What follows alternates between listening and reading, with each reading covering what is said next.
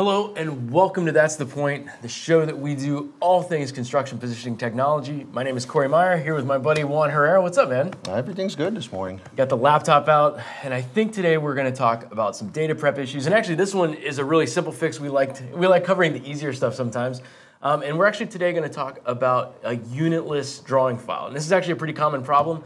Um, but you get a file from the from the, the office, a DWG, you load it into your into FieldLink go to layout and it's just completely messed up. It doesn't work right. Doesn't you can't lay out to it. Everything looks screwed up.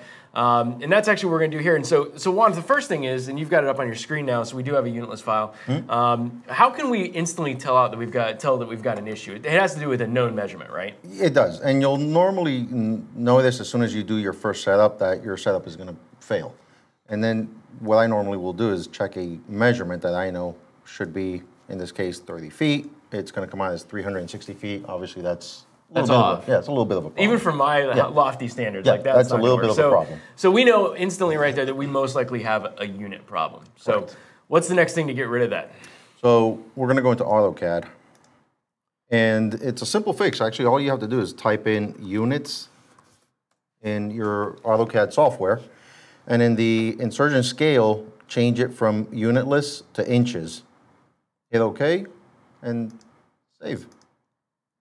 Simple as that. I don't believe you. That's go back to FieldLink. Open that new file. All right, let's go take a look. All right. So I'm just going to go ahead and import that. So you're going to you're going to bring that unit that the new drawing that you created with units back in in inches. Yep. And there it is. So you're going to see the incorrect one and the correct one. So we're going to zoom into that correct version and pull another measurement. 30 feet. 30, 30 feet. feet. Look at that. Versus 360.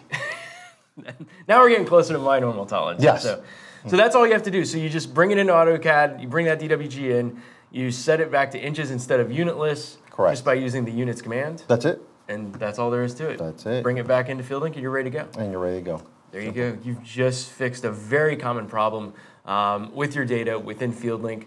Um, Juan, thanks, man. You survived it. I did. Thank you very much for having me.